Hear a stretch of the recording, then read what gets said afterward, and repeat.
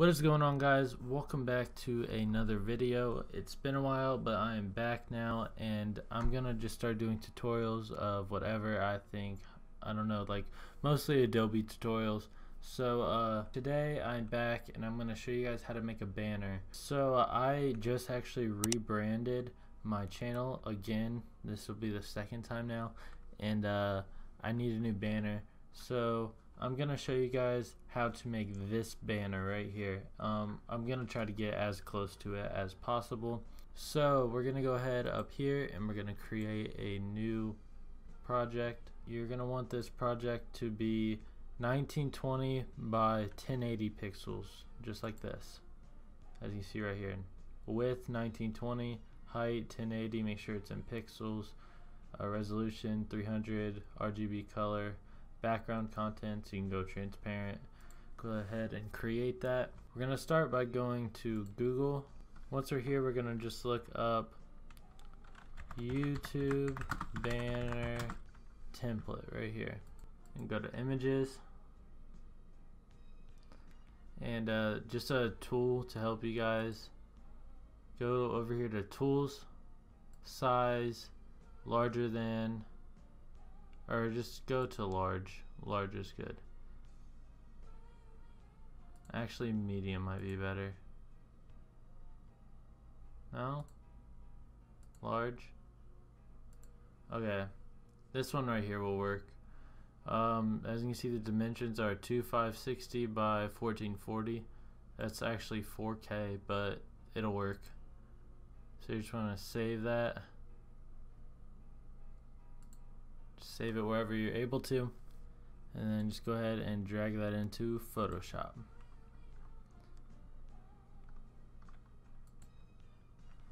Okay so now that you have this in here this you're just going to use as a template. Pretty much this is what you're going to be able to see on someone's channel. This is what you're going to be able to see. So what we're going to do is just to help us out we're going to go right here to the rectangle tool and this can be any color you want. And uh, just get it as close to as possible. And just drag a rectangle on this bottom part right here. And then we're just gonna click control J or command J if you're on Mac. And as you see over here that's gonna create another layer. So then we're gonna hit control T. And uh, just drag this rectangle up. And just line it up with that line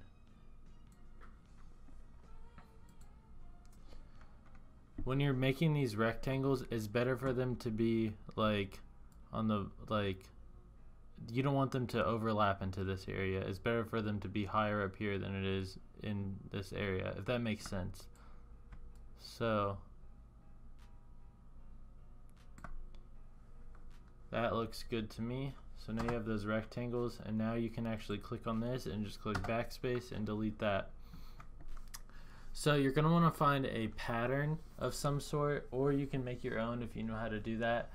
Um, but you just want a background. So what I'm going to do is I'm just going to go here and go to place linked. Let me find this one. Don't mind this picture of Owen Wilson here.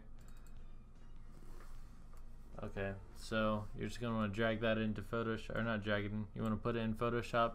You want to make sure it's under these rectangles, so it's behind these rectangles. No, what am I clicking? So I'm to click Control T and just, I'm going to hold Shift as well so that it doesn't get squished or anything. And I'm just going to drag this out like this. So now what we're going to do is we're going to go, actually, what I'm going to do, just because I'm an organization freak when I'm working on this, I'm going to click on one rectangle, hold control, click on the other, then I'm going to click control G. So that's going to put our rectangles in a group together as you can see. So now I just know I need to work on everything under this group. So after we have our rectangles grouped, you want to make a new layer. So you just go down here, click new layer. So as you can see, I have this layer under the rectangles. And then you also want to make sure your rulers are on. So to put your rulers on, you go up here to view and go down here and make sure that it has a check by it right by rulers. And you want to get a ruler out in the middle so it'll pop up like this. You just hold control and drag it out and it should snap right in the middle as you can see. And now you're ready to work with your pen tool. So I'm gonna try to create a shape a lot like the one I did in, in uh, this one. So I'm gonna come over here and I'm gonna start my point right here and then I'm gonna hold shift and that's gonna help me create a perfect 45 degree angle. So I'm just gonna hold shift and click somewhere down here. As you can see it created a 45 degree angle and I'm gonna hold shift again. And I'm going to click on the ruler. And then I'm gonna go up click up here. Just come over here and complete the shape. Once you have your shape made you want to go ahead and right click click make selection and just click OK and if you see that it's like inverted like this all you want to do is go up here to select click inverse and now you'd see there's not gonna be like a line around here. And uh, I'm gonna go ahead and choose color black and then we go to the paint bucket right here and just click. And then you can click control D to deselect it. So now what we're gonna do is we're gonna make a copy of this shape. So we're gonna click control J and then we're to go up here to image. Or we're to go up here to edit transform flip horizontal click control T and just drag it over. Make sure it's all lined up still. So as you can see if we get rid of our background we have this right here. Now we're gonna want this to be one shape so we hold control and make sure both these are selected. So you just hold control and click on both of them. And then you want to right click convert to smart object and as you can see it's all on one layer now. And uh, you can just hold control and go to your ruler and drag it back over here so it's out of the way. And make sure this is visible. Oh we messed up. So you're just gonna click. If you mess anything up just click uh, control alt Z and then you can change it. Make sure they're up against each other. Sorry about that go back here. Make sure it's a smart object. Drag that back. Alright we're all good. So now what we want to do is as you can see I have this pattern on here. This is actually going to be kind of backwards I guess. I have this pattern on here still.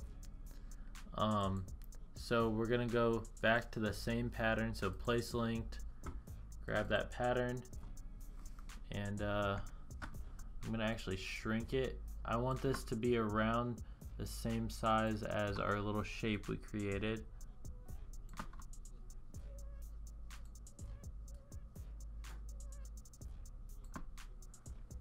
Make sure it's centered. So now, as you can see, we have these on top of each other. Make sure that the second pattern that you just put on, not the one that's your background, but this one, make sure it's above the shape we created. And you're gonna want to go up to this shape or up to your pattern right click go down here to create clipping mask. And as you can see it just formed onto that shape. So it's inside of that shape now. So now what we want to do is we want to emphasize this shape. We want like people to be able to see it. Because as you can see if you look really hard you can barely see the shape. So we want to go down here to the shape, not the pattern, the shape, and right click and go up here to blending options and we're just going to do some stuff to it. So the first thing I think we're going to do is go here to outer glow and I'm going to actually change this to white and then maybe even a drop shadow on it would look good. It doesn't do that much because this is black but this is all of your um, this is like all your preference. You can just do whatever you want to this that you think looks good. So I actually think that looks pretty good. So now you can see, we can see that there's like two different layers here. This is like its own individual shape. So now what I'm going to do is I'm going to put all of this in a group. So click all of them, click Control Z, and then now so we have our rectangles on top of this. Then we have our shape and everything below it.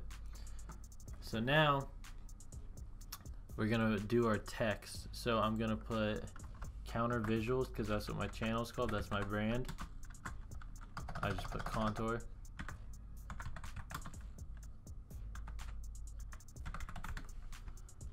Um, I'm gonna make it a little bigger.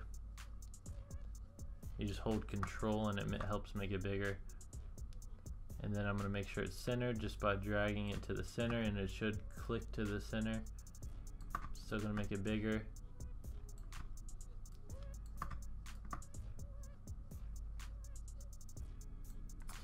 Alright, so when you're done with sizing it, you just click the check mark. And uh, I've moved it up a little on this shape because I'm actually to put my Instagram down here. And uh, so now as you can see we have this and actually if you want to you can mess with the text so you just click back on it if, make sure you're on the text tool and you go up here to this and you can warp it. So say I want it to be um say uh, we'll go with this bulge. Um, you just mess with the bend. Oh well maybe I don't like this. Okay no we're not doing bulge. I didn't know what I was getting myself into. Um, I'll just do arc. So I'm gonna mess with the arc of it I like that drag it down a little there so now we put our channel name on here now I want to put my Instagram. So what I'm gonna do is I'm gonna go and you just have to find an Instagram uh, logo. I actually have a bunch of these logos in a pack right here as you can see. I'm not sure where I got this from. I got it forever ago. You can probably just look up uh, like social media logo packs and you'll find one. So we want Instagram. Where's Instagram? Where's Instagram? Right here. Just click uh, place and as you can see it's black so we're actually gonna change that gonna drag it and make it smaller though see how it's staying the same proportion like it's not like going like this when I drag it that's because I'm holding shift when I'm making it smaller so I'm only gonna put my Instagram on this one um, but you guys can put any social medias you want so you just drag it to your preferred size put it where you want on the uh, on the banner. Um, now as you can see it's black. If this happens to you, if you can't really see it because it's like blending in with something, you can just go up here, right click, go back to blending options, and uh, you can put a color overlay on it as you see. Make sure it's on normal. Um, and I'm just going to make it white. I'm actually going to move it. So I just click Control T. We'll put it right here and we'll just see what happens. Um, so now I have my Instagram logo there as you can see. I'm just going to put my Instagram. Oh, no, I'm not going to put my personal. We'll go counter visuals. Follow me on Instagram if you guys don't, at counter visuals. So uh, we're to put it next to the Instagram logo. Make sure the sizes are sort of the same. And uh, I think that looks pretty good. I might want to move this over a little. Just hold control. Make sure you're clicking on it because like say I click right here it's probably gonna grab the background. Yep. So just make sure you guys are clicking on the actual logo there that looks good to me so yeah, this is a really basic uh, just YouTube banner. I hope you guys followed along well. If this did help you guys, please leave a like. Subscribe for more. I'm going to be posting a lot more uh, tutorials and stuff along the lines of Adobe and Photoshop and whatnot. So yeah, like I said, if you did enjoy, leave a like, subscribe for more, and I will see you guys in the next video.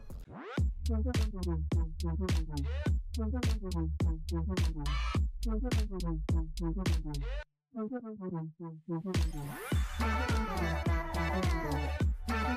you.